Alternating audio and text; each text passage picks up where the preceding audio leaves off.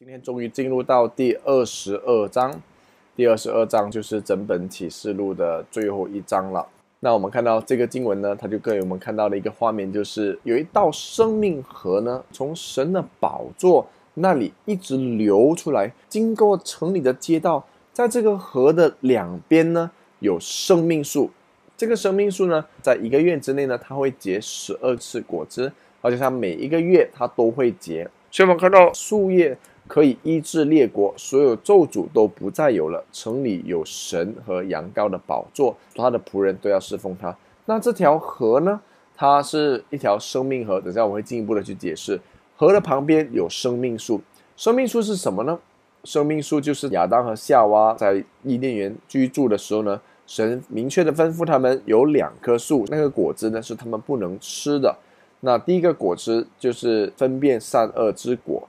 第二个是生命树之果，那亚当和夏娃他们吃了这个分辨善恶之果之后呢，他们眼睛就明亮了。神就之间就在说话，他们不能够让亚当夏娃再吃生命树的果子，免得他吃了之后他就有永远的生命了。所以呢，他就怎么样呢？他们就把他赶走了。可是到了新天新地、圣城耶路撒冷降下来的时候呢，这里再一次出现了生命树，这生命树。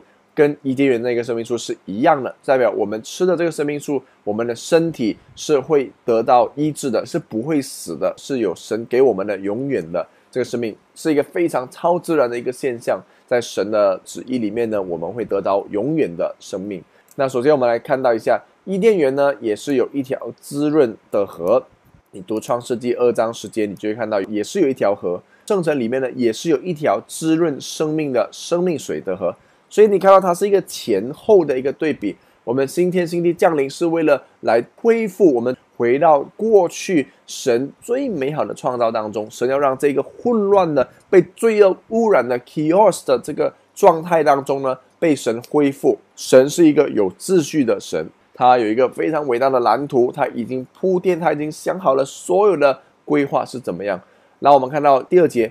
经过城里的街道，河的两边有生命树。这个街道呢，其实它在原文呢是单数，表明圣城内只有一条街道，而圣城的街道上却流着生命水，对应了主耶稣所说的：“我就是道路、真理、生命，若不借着我，没有人能到父那里去。”他说：“什么是道路呢？道路就是借着我，你才可以到那里去。就好像今天我们要出门。”从我们的家出来就是一条马路，这个就是一条道路。道路可以四通发达的把我们连接到不同的地方。你要衡量一个城市、一个国家的发展呢，其中一个指标就是它的基础设施。基础设施当中最重要的其中之一就是它的道路系统，它的交通运输系统是怎么样的。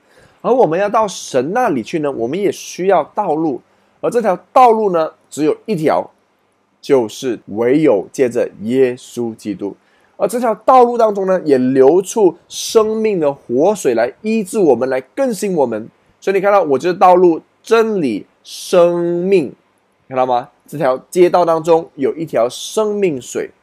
所以你会发现到，圣经其实有很多的铺垫，有点像一个小说家，他放下一些伏笔在某一个段落，然后他在未来的某个时刻他会揭开的时候，你就会恍然大悟，哇哦！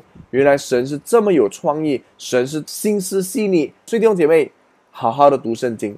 好的，那我们继续来看撒加利亚呢，他也曾经预言有活水会从耶路撒冷出来。以西结也曾经预言有水会由殿往下流至死海。这一切的预言呢，都应验了，就是生命水的河。那我们去看第四节，也要见他的面，他的名字必写在他们的额头上，不再有黑夜了。他们也不需要灯光或日光了，因为主神要光照他们。新耶路撒冷，或者说新的这个伊甸园当中呢，不再有黑夜。这个字已经出现过很多次，代表说我们不再惧怕，不再恐慌，不再难过，不再哀伤，不再痛苦，都没有了，连压力都没有了。感谢神，在这个世上有好多的压力，在天上已经没有了。感谢主，哈利路亚。他们要做王，直到永远远。谁要做王？圣经说：“他们谁被光照？这个他们是谁？就是那些真正的信靠主、跟随主，我们一直到永生的那一位，就是你和我。我们真正信靠神，我们仰望神，我们寻求神，我们遵行神旨意的人，必永远长存，哈利路亚！我们要做王，直到永永远远。我们必定执掌王权，因为这是圣经非常清楚的说的。第六节很重要，天使对我说：“这些话是可信的、真实的。”阿门。圣经里面启示录所说的完全是真实的，不要怀疑说：“哎，我怎么样做王呢？我都不配做王呢。”是啊，我们真的是不配，但神就是给我。如果你不相信，你就有祸了。你不相信启示录所说的话，你就有祸了，弟兄姐妹。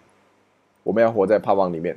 主就是众先知之灵的神，差遣了他的天使，把那快要发生的事指示他的仆人。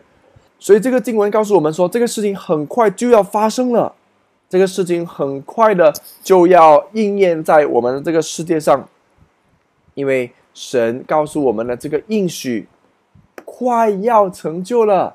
已经讲了两千年，耶稣要来还没有来啊！别忘了，神所看的世界是千年如一日，神的日子非常快了。这个经文让我们看到一个很大的盼望，主耶稣说他必定快来，圣经里面所说的必定要成就。阿门！赞美我们的神吧。所以当时的约翰他趴下来俯伏下来。他要去拜这天使的时候呢，天使要说：“你千万不可以这么做，因为我和你都是神的仆人，仆人是不能够被敬拜的，只有一位上帝，主耶稣基督，他配得我们俯伏敬拜。可是你想一想，在天主教的世界里面，他们常常会对着这些圣像，对着这些雕刻的圣徒呢，来向他来祈祷，这些都是错误的。”玛利亚只不过是一个人类，她是肉身上耶稣的母亲，她不能够被敬拜，所以神提醒我们当拜耶和华你的神。圣经只说当拜耶和华你的神。如果我们在圣经以外加添了一些人为的一些观念，不是神启示给我们的观念的，包括去敬拜玛利亚，这些都是非常错误的事情。我们要悔改，要回转向神。所以，亲爱的弟兄姐妹。你是否是遵守这本书上的人呢？你是遵行神话语的人吗？我们看到主耶稣再次亲自宣告祝福，遵守呢？原文是现在进行时，就是 present continuous，指的持续的遵守。这是启示录中的第六个福。看呐，我必快来。那遵守这书上预言的人是有福的。这个经文他就谈到我们有福了。你持续性的遵守，你不放弃的遵守。你继续的遵守，present continuous 就是什么呢？就是我正在，我持续的，所以遵守神的话语，不是说我昨天遵守，今天不遵守，我就可以上天堂，或者是我现在不遵守，我等到明天才来遵守，不是。神要我们一直、一直、一直、一直遵守，遵守这书上所说的一切话，就是不要拜那个兽，要持守在神的正道当中的人，持续的跟随神的人，遵行神的话语的人，都得到这个福分。所以，我们做一个总结：你相信启示录所说的每一个部分都会实现吗？你相信每一个程序都会发生吗？你相信圣经所说的给我们的应许，我们要得着永生的盼望，我们要得着永远的生命。我们在新天经地的时候，我们要复活，我们要与主永远的不分离。你相信吗？活出来吧！如果你相信的话，这个信心应当是在你的生活当中会产生影响力。如果你真的是相信的话，你会产生一个具体的行动来回应神。很简单，为什么你会拿一张木的椅子坐在风扇的底下？难道你不怕风扇会掉下来吗？你不怕这个椅子会倒掉吗？为什么？